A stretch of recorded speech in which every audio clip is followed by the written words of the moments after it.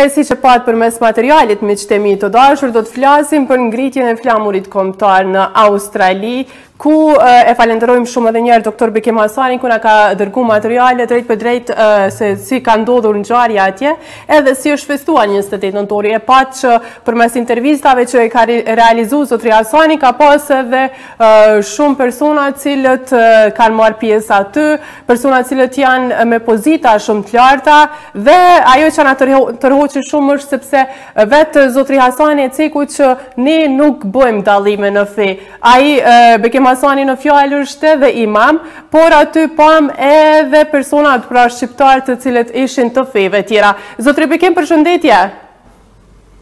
Përshëndetje Nora juve dhe të gjithë shikuesve të programit tuaj. Faleminderit shumë që sot ke vendos mu lidh bashkë me neve. Është gjithmonë është ndjenjë e mirë kur kemi lidhje nga Australia, është shumë larg, po neve na bëhet qefi që jemi afër përmes rrjeteve sociale, sidomos kur të flasim edhe për shqiptarët. Po e nisim intervistën edhe pse me një një javë vonesë realisht nga festat e nëntorit, por kemi shumë çka për me bisedu sa i përket kësaj feste dhe aktiviteteve që ju i bëni. Po e nisim fillimisht me një gjest tëndin i cili është për t'u vlerësuar, sepse ju përveç që jeni imam, i keni mbledhur gjithë shqiptarët, pavarësisht dallimit të feve, edhe e keni realizu një intervistë shumë të këndshme. Faleminderit. Secili prej neve mundohet që të kontribuojë sado pak për komunitetin tonë shqiptar në këtë vend të largët siç është Australia. Edhe unë mundohem që ta ta lënë ndonjë shenjë në në jetën time edhe pas shkuarjes time nga nga kjo botë që një një, një legacy që dhe fëmijët tanë të cilët janë lindur dhe rriten në këtë vend që ta kuptojnë që me të vërtetë ne shqiptarët kemi ardhur në Australi mbi 100 vjet, edhe qëndrojmë të, të bashkuar dhe mundohemi që t'i mbajmë ato traditat e lashta tona kombëtare. Sa i përket komunitetit tonë shqiptar, ju e dini që ne kemi bashkëpunim shumë të ngushtë edhe me shqiptarët që i takojnë uh, feve tjera. Posaçërisht uh, ju ndëgjuat edhe intervistën me baci Lek Dreka, i cili është dhe kryetar i komunitetit shqiptar katolik në, në Melbourne. Çka është diçka shumë e veçantë që edhe ne kur kemi ndonjë festë bajrami ose kur kemi ndonjë varrim, baci Lek edhe kom, anëtarët e tjerë të komunitetit shqiptar katolik marrin pjesë tek ne, po edhe ata kur kanë ndonjë festë ose kanë ndonjë varrim, edhe ne marrim pjesë në në ato festë ose në ato varrime. Besoj që vendi i largët siç është Australia e ka bërë që ne të qëndrojmë të bashkuar edhe kjo është një një traditë e jona e lashtë shqiptare të cilët edhe kohët e kaluara kur ka qenë pyetje kombi ne i kemi lënë ato fetë që ne i praktikojmë anash edhe gjithherë kemi qenë të bashkuar dhe këtë mundohem këtë mesazh t'ja japim edhe të gjitha komuniteteve tjera që jetojnë jo vetëm në Melbourne, por edhe edhe edhe në tërë botën. Kjo është e rëndësishme që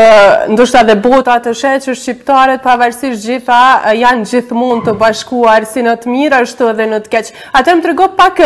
përmes 13 minuta që na ke dërgu material, që të falënderoj shumë sepse përmes ekranit tonë e di që shumë shqiptarë edhe kanë ndi ndoshta dhe afërsinë e shqiptarëve jashtë vendit. Më trego si rrodhi dita, është ndoshta aktivitet që e bëni çdo vit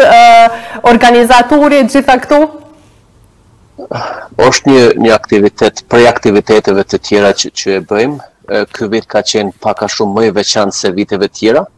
pasi siç e përmendët edhe vetë është hera e parë në historinë e komunitetit shqiptar në Melbourne që Dy ambasadorë të dy shteteve tona kanë marrë pjesë, edhe pse zotëri Abazi ka qenë edhe vitin e kaluar, për ambasadorin e Shqipërisë ishte hera e parë që të merr pjesë në ngritjen e flamurit.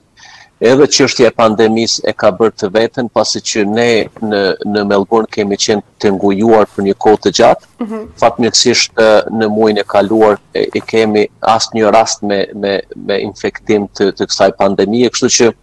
e shqiptarët e shfrytëzuan edhe këtë rast që të jenë dëshmitarë e ngritjes flamurit, po dhe të njëjtën kohë që ta, takohen me ambasadorët që që kanë ardhur, posaçërisht ai i Shqipërisë, po dhe takohen me me me, me njëri tjetrin.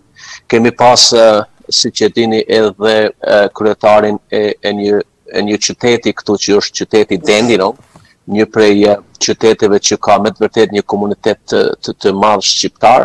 posaçërisht e kemi edhe një qytet tjetër që, që quhet Shepparton, që shqiptarët me të vërtet aty janë që nga vitet 1920-1930, edhe ai qytet njihet edhe këtu në në shtetin e Viktorisë si si qytet i shqiptarëve, pasi që shumica e mejers që i themi ne këtu si kryetarë komunash kanë qenë kanë qenë shqiptarë. Pranvera siç ndoshta e keni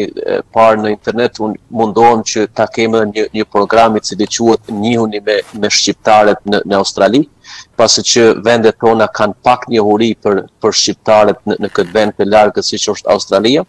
jam munduar që t'i marr në intervista posaçërisht ata të cilët janë me të vërtetë të vjetër edhe kanë ardhur në Australi më shumë se 50 ose 60 vjet, edhe ata tregojnë edhe sakrificën që e kanë kaluar në vendet tona para ardhjes në Australi, edhe gjatë ardhjes ju e dini që udhëtimi në atë kohë ka qenë mbi një muaj me anije, pastaj ardhja e tyre në Australi, ballafaqimet edhe ato sfidat që ata i kanë kaluar posaçërisht në fillim, sepse gjuha do thotë nuk e kanë ditur kanë ardhur me asgjë në këtë vend nuk ka pas shqiptarë të shumtë kështu që kjo është një një mesazh i mirë edhe për popullin tonë vendet tona atje mirëpo edhe edhe për gjeneratat e ardhshme që çdo send që ata e posedojnë sot ajo nuk ka ardhë do të thot nga askund mirëpo një gjeneratë ose dy gjenerata kanë kanë sakrifikuar që gjenerata e dytë ose e tretë të ta ta gëzojnë këtë këto shtëpi ose këtë pasuri që që komuniteti shqiptar e posedon në këtë vend. Po, e ju që po na tregoni detajisht për gjitha aktivitetet që ndodhin në Australi, sidomos nga komuniteti shqiptar, të falenderoj shumë sa e ke pas vështirë ndoshta me marr këtë iniciativë, tu e marr parasysh gjithmonë faktorin ku ndoshta edhe ju jeni imam, edhe jeni pranë xhamatit ju atje, por ndoshta edhe ju duhet me udhëtu, me me eksploru pak më shumë për shqiptarët, si po ia dal me kohën. Edhe pse çështja uh, ime si imam nuk është do të thotë full time siç e kemi mm -hmm. si e quni atje, mirëpo unë punoj një, një punë tjetër që kam punën do të thotë orarin e plot. Çështjen e e prijësit fetar e kam do të thotë si si part time ose si honorar që që e quni ju atje. Mm -hmm. Edhe mundohem që që të gjej kohë edhe për komunitetin shqiptar në në këtë vend. Mm Siç e dini, komuniteti shqiptar është i shpërndarë në tërë Australinë. Australia është aq e madhe sa, sa është edhe Evropa. Mirëpo do të mundohem sado që kam mundësi që t'i ofroj disa intervista dhe disa fakte për, për shqiptarët e, e, në, në këtë vend. e kjo është e me të vërtetë e kemi pa një interesim të madh edhe për edhe prej e, popullit tonë shqiptar në, në, në të gjitha trevat shqiptare që, që i kemi edhe do të mundohem që t'i tregojmë edhe edhe fëmijëve tanë po edhe popullit tonë atje që pavarësisht që kemi ardhur në këtë vend ne kemi ardhur në, në Australi edhe e kemi quajt vetveten si gurbetçarë edhe fjala gurbet është kur njeriu largohet nga vendlindja për një kohë të caktuar edhe pse shumica prej tyre veç kanë mbetur në këtë vend, nuk domethënë që ne e kemi harruar se prej nga kemi ardhë, ne mburremi që, që jemi shqiptarë, ne mburremi që edhe fëmijët tanë që prejardhjen e tyre e, e kanë nga, nga vendet tona, të lashta ilire dhe mundohemi që secili prej neve të kontriboj sado që, që kemi mundësi që t'i ruajmë këto tradita të, të, të lashta edhe unë e mendoj ndoshta nuk, nuk e teproj me, me thënë që edhe pse jetojmë në një vend të largët siç është Australia unë mendoj që ne kemi ruajt ndoshta disa tradita që Ju atje në Kosovë, Shqipëri ose në Maqedoni, Mal të Zi ndoshta veç i keni harruar ato, ndoshta edhe largësia e bën të veten që ne jemi munduar që që t'i mbrojmë këto këto tradita me me çdo send që që ka qenë e mundur. Edhe ne mburremi me me atë posaçërisht ata që kanë ardhur me 50 vjet, 70 vjet, ju e dini që shqiptari i parë i cili ka ardhur në në, në Australi ka qenë në vitin 1885 me me emrin Naum Konxha, ai ka ardhur nëpërmjet Anglisë edhe grun e ka pas angleze dhe ka ardhë në Brisbane të Australisë, domethanë, ne si komunitet edhe, edhe, edhe në këtë vend jemi shumë të njohur që jemi një prej komuniteteve më të lashta në këtë vend, edhe që kemi qenë në gjendje t'i rujm edhe traditat tona edhe kombtare dhe fetare. E kjo vrehet shumë edhe në bazë materialit që na keni dërgu kur i shohim ndoshta edhe shqiptarët me plisa të bardhë midis qytetit edhe veshjet që i keni pas në ditën e njëzet e tetë nëntorit kur e cekët ju që ndoshta ne, ne i kemi harru disa tradita cilat po mendoni ju që ne i kemi harru e që ju ende i mbani gjallë Ah, sikur të filloj t'i përmendi të gjitha, ndoshta do të merr shumë kohë. Uh, mirëpo, njëra prej tyre është edhe këto veshjet kombëtare, siç e cekët edhe vetë. Ne kur i kemi këto traditat, uh, uh, kur i kemi këto festat kombëtare, ne edhe e vendosim plisin në, në kokat tona, edhe në qoftë ajo në, në, në mes të qytetit të Melbunit, edhe ajo është një, një identitet i komunitetit tonë në këtë vend të të largët, pastaj ju e dini respekti, mirëpritja, respekti për më të vjetrit, disa gjëra që ne kur vimi t'i vizitojmë vendet tona e, i shohim që ato me të vërtet kanë humbur në, në ato vende edhe ne mundohemi që t'i mbajmë ato. Janë disa tradita që kanë qenë edhe të edhe edhe më të vjetra kur është në pyetje edhe edhe martesat, Mhm. Nuk e di, unë do do të mundom t'jau sjelli disa video në të ardhmen kur i bëjmë edhe martesat në këtë vend, që do thot motrat, vajzat edhe gratë tona veshen me me me veshje kombëtare, edhe ato i bën të mburren që e, e, janë duke i veshur ato ato veshje kombëtare edhe pse kanë lindur në këtë vend, ndoshta edhe edhe prindërit e tyre kanë lindur në këtë vend, mirëpo ato gjithëherë mundohen që ta identifikojnë vetveten e tyre që, që janë shqiptarë. E, kjo është e bukra kur ndoshta shumë larg, larg vendit realisht, sepse Europën e kemi shumë ma afër edhe shumë shpesh mbajmë lidhje edhe vijnë shumë shpesh në Kosovë, por kur në Australi mundohen ndoshta dhe gjenerata e tretë t'i mbajë këto tradita, atëherë kjo është shumë e vlefshme. I përmende pak dasmat. Ka ndoshta ende që e ruajnë me fanatizëm martesën sa i përket me u martu shqiptar me shqiptar apo ka ndryshu kjo tash te gjeneratat e reja? Shiko, edhe gjeneratat e reja posaçërisht në një qytet që i përmenda më herët, qyteti i Shepërtonit, gjenerata ime në atë vend janë gjenerata e tretë, mm -hmm. ose disa prej tyre gjenerata e katërt, domethanë, stërgjyshërit e tyre kanë ardhë në vitet 1920-at, mm -hmm. edhe ata me të vërtetë, pasi unë jam edhe, edhe si e, celebrant i martesave me, me qeveri të Australisë, edhe unë i bëj martesat e tyre, me të vërtetë janë fanatikë dhe mundohen që të martohen me, me njëri-tjetrin, Mhm. Edhe kjo kjo është diçka që që na bën neve të mburremi, edhe kjo është falë gjeneratave të para të cilët kanë punuar, do të thotë pa lodhje, duke mbajtur edhe klasat e gjuhës shqipe, duke mbajtur edhe komunitetin së bashku. Domethënë, krejt ky rezultat që ne shohim sot është falë atyre të parëve që kanë ardhur në këtë vend, edhe i kanë edukuar fëmijët e tyre që me të vërtetë edhe pse jetojmë në një vend siç është Australia, ne duhet të integrohemi në këtë vend, mirëpo prapëseprapë nuk duhet t'i harrojmë edhe gjuhën edhe edhe traditat tona. Ne edhe sot në Melbourne po të flas 95% se s'po them njëqind përqind, kur ne kemi dasmat në këtë vend, ne i fillojmë me, me, me tupana, me daulle që, që i thojnë këtu, këto vendet tjera, edhe ne mburremi se kjo është edhe tupanat e zonës, është një farë lloj identiteti shqiptar në, në këtë vend ku, ku ne jetojmë këtu, Kështu që ne nuk mund gjenë në asnjë darsëm shqiptare që të kenë ndoshta muzikë western që i themi ne të, mhm. të, të perëndimit, mirëpo gjithherë ne kemi thrrasim edhe kongtarë nga, nga vendet tona, edhe mburremi do të thotë që ne muzikën, këngët i kemi posaçërisht ato e, tamam si, siç janë shqiptare, e posaçërisht ato që janë edhe më të vjetra, që e, e, e sjellin atë farë ato mendimet tona që i kemi për për vendet tona dhe sado pak shmallemi me, me, me vendin tonë uh, nëpërmjet këngëve, nëpërmjet muzikës tonë të lashtë shqipe. Po, kurse e di që ju jeni ndoshta keni përditshmëri edhe edhe me nacionalitete tjera, të cilat nuk janë shqiptare, realisht, edhe kur i shohin këto tradita, Vlerat tona kombëtare, çfarë çfarë fjalë thonë në përgjithësi sidomos kur e ruan edhe gjenerata e tretë këtë traditën tonë përtej oqeanit? Siç thashë edhe më herët, shqiptarët në përgjithësi janë shembull për të mirë në këtë vend. Ne jemi integruar me të vërtetë shumë mirë. Unë siç përmenda ne kemi edhe kryetar komunash, që njëri prej tyre edhe ishte në atë intervistë, Xhim Memeti, Ai ka ka lindur në këtë vend edhe e e flet gjuhën shqipe rrjedhshëm edhe është krenar edhe mburret që që është shqiptar pra edhe vende tjera kur komunitete tjera kur na shohin neve që ne domethënë mburremi me me, me prejardhjen që e kemi Edhe ata ndoshta i nxit disa prej tyre që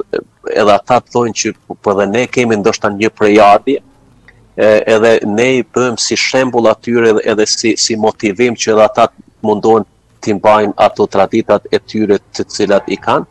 Pra, uh, siç thashë edhe më herët, uh, shqiptarët në këtë vend uh, janë integruar me të vërtetë shumë mirë, kemi shqiptarë të cilët janë mjekë, profesorë, politikanë, në fusha të të ndryshme edhe kjo e bën komunitetin tonë uh, krenar që kemi asi njerëz që me të vërtetë janë në, në çdo sferë të, të jetës në këtë vend, po të njëjtën kohë do thotë e mburren që, që janë me prejardhje shqiptare, edhe ne mundohemi që edhe fëmijëve tanë t'i t'i mësojmë që edhe ata kur të rriten, mos t'ju vijë turp për identitetin e tyre shqiptar që e kanë, ngase që ne si shqiptarë jemi prej popujve më të lashtë në, në Ballkan, pra ne mundohemi që nëpërmjet këtyre e, e, programeve, ne do të mundohemi që të kemi edhe hulumtime, do të thotë librat që, që do, do t'i sjellim së shpejti për historin e, e shqiptarëve në këtë vend, sado pak që edhe ata kur të rriten ta kuptojnë që me të vërtetë ne jemi një komunitet shumë i vjetër në këtë vend, edhe ata ta vazhdojnë atë rrugën që të parët tanë e kanë nisur në këtë vend, ne jemi duke vazhduar edhe shpresoj që edhe fëmijët tanë edhe fëmijët e tyre ta vazhdojnë edhe ky komunitet të jetë i bashkuar përgjithmonë. Po, përmes rrjeteve sociale dhe aktiviteteve tuaja që i përcjellim çdo ditë kemi parë që ju nuk e harroni as ditën e abetares. Absolutisht është është një një ditë historike për të gjithë ne, siç e dini unë jam munduar ta kem në në intervistë edhe mësuesin e parë shqiptar në, në Australi, Mitat Jusufin, mirëpo për shkaqet të, të shëndetit, nuk kam patur mundësi që ta, ta intervistoj, mirëpo çka e dimë që ne gjithherë e kujtojmë atë edhe të gjithë ata mësues që kanë sakrifikuar e posaçërisht kur kemi qenë nën okupimin serb ose nën komunizëm ose prej çfarëdo vendi që kemi ardhur, ne i kujtojmë ata mësues tanë, ju e dini që edhe unë jam i lindur dhe i rritur në Kosovë dhe unë e çmoj mundin e, e mësuesve tanë, profesorve tanë të cilët edhe në kohë lufte janë munduar që të na edukojnë neve, Pra ata i kemi si motivim edhe mundohemi që edhe këtë vend të, të largët që jemi, që mos ta harrojmë ditën e abetares edhe ta, ta, ta vazhdojmë mësimin e gjuhës shqipe në këtë vend, që sado pak edhe fëmijët tanë do të thotë të jenë n'gjendje të ta flasin gjuhën shqipe, posaçërisht ne që kemi familje në, në vendet tona, kjo e bën ndoshta pak më lehtë që fëmijët tanë të jenë n'gjendje të komunikojnë edhe me anëtarët e familjeve tona që që i kemi atje. Kështu që shpresoj uh, me me me ndihmën edhe suportin edhe edhe tuaj, edhe të gjithëve në, në vendet tona, por edhe të njëri-tjetrit që jemi në këtë vend, besoj që do ia arrijmë qëllimin. Po, zotri Hasanem, tregoni edhe pak sa keni bashkëpunim, ndoshta me ndonjë shoqatë shqiptare si në Kosovë,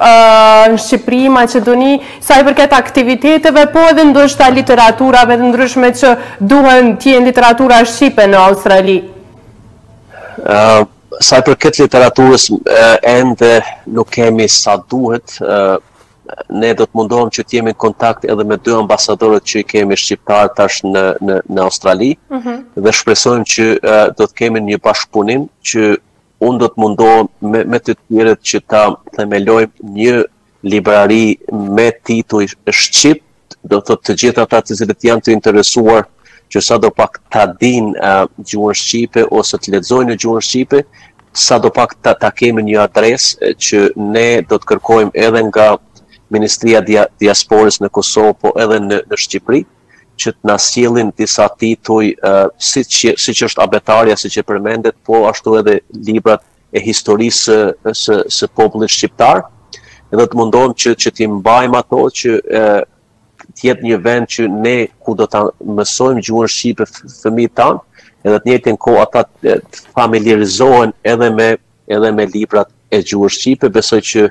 me ndihmën e tyre do do ja arrijmë këtë. E uroj shumë që të gjitha këto aktivitete që do i bëni edhe sidomos edhe punën që po e bëni për të na sjellur më shumë të reja për komunitetin shqiptar. Unë shpresoj shumë që të kem material nga ana juaj dhe t'i diskutojmë çdo detaj. E di që atje është koha shumë, domethënë është vonë me orë, sepse jemi e kemi zonën ndryshe. Sa i përket orës edhe kohës, por na tregon për fund e përmende që nuk keni asnjë rast me Covid.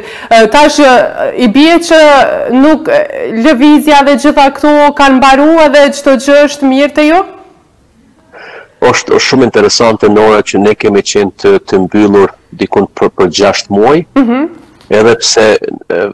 populli jonë, po edhe popujt e tjerë do të thotë qeshnin me me me neve në këtë vend që kemi qenë të të mbyllur për për këtë kohë. Keni qenë po totalisht të mbyllur? Totalisht të mbyllur. Ne sot ne sot e kemi ditën e 30, uh -huh. e cila nuk ka asnjë rast me me Covid. Edhe do të thotë janë hapur edhe kufijtë nëpërmjet shteteve që kemi brenda Australisë. Edhe ne jemi gjendje tash edhe të kemi darsma, sot unë isha në një darsëm me, me dikun 200 veta, kështu që është, është knaqësi kur ne e shohim që kë, do thotë kjo pandemi veç po largohet, unë shpresoj edhe lus Zotin që të largohet edhe nga populli jonë, edhe nga tërë bota, edhe un unë unë si si prijës fetar edhe si e, e, prijës i komunitetit në këtë vend e, kemi pas bashkëpunim të ngushtë me me qeverinë edhe ne kemi mbajt edhe ligjërata që secili në komunitetin e vet t'i edukojë që sadopak t'i, t'i, t'i zbatojnë ato rregullat nga qeveria. Unë besoj që edhe në vendet tona duhet të praktikohet një, një, një ide e tillë, që shteti të ketë bashkëpunim edhe me prijës fetar, edhe me prijësit e komuniteteve, pasi që populli më shumë e ndëgjon ndoshta një prijës fetar se sa një, një politikan, kështu që qeveria duhet të shfrytëzojë çdo uh, ide që të mundshme, që të mundohemi ta ruajmë popullin tonë, ju e dini që edhe mjekësia në vendet tona do të thotë dallon shumë nga, nga perëndimi, Edhe neve, them të drejtën, na, na dhemb zemra kur i shohim uh, njerëzit të cilët vdesin, ndoshta s'kanë ventilators, nuk kanë këto gjëra më elementare, ne mundohemi që edhe nëpërmjet shoqatës bamirëse që e kemi të ndihmojmë popullin tonë, posaçërisht në, në gjatë këtij dimri që do jetë besoj një, një dimër shumë i vështirë për popullin tonë, ne gjithherë do të jemi pranë popullit tonë, kur populli jonë ka nevojë për neve, dhe shpresoj që edhe populli jonë, edhe tërë popujt në tërë botën ta kalojmë këtë pandemi sa më shpejt, edhe të ketë sa më pak raste e posaçërisht me me vdekje, lus Zotin që të na mbrojë të gjithëve, familjet tona nga kjo nga kjo pandemi dhe ta largojë sa më shpejt. Shpresojmë ashtu edhe ne, edhe ne ju falenderojmë shumë që gjithmonë kudo që ka shqiptarë nëpër botë, na u keni gjind edhe në ditët më të vështira të vendit tonë. Kështu që unë e di që do të kemi edhe lidhje të tjera së bashku sepse aktiviteti yt nuk ka të ndalur. Të kërkoj falje që ndoshta të kemi lënë zgjuar deri në orët e vona apo deri në orët e para të mëngjesit, por shpresoj që do të flasim përsëri edhe të falenderoj edhe një herë për kohën. Faleminderit edhe për juve, nuk kam kam pirë çaj Kosove para se se ndodh kjo, kështu që deri në mëngjes nuk nuk do kemi problem. E më lejoni që t'ju përshëndes shumë juve dhe t'ju falenderoj për për mundësinë që na keni jap, edhe t'i falenderoj edhe t'i përshëndes të gjithë shikuesit e programit tuaj dhe ju uroj çdo sukses juve edhe stafit juaj. Faleminderit shumë, të gjitha të mirat. Të dashur shikues, siç e patë kishim në lidhje direkte nga Australia, doktor Bekim Hasanin, i cili na tregoi më shumë rreth aktiviteteve të komunitetit shqiptar që ndodhin në Australi, për festat e ndryshme, por edhe na tregoi që pavarësisht festave, ata atje e mbajnë ende traditën e gjallë, edhe pse ndoshta është gjenerata e tretë dhe e katër që po rritet në Australi, ata ende i kanë traditat si, si, sikur të kishin lindur këtu në Kosovë, na tregoi ndoshta edhe për kryetarin e komunës në njërën ndër komunat në, në Australi, ku ishte edhe shqiptar. Ne do të vazhdojmë ende të flasim edhe ndoshta në ditët në vijim bashkë me zotrin Hasani, ku do të na sjellë edhe materiale tjera se si zhvillohet jeta në Australi. Tash do të kalojmë, realisht do të shkëputemi për pak edhe kthehemi përsëri në studio.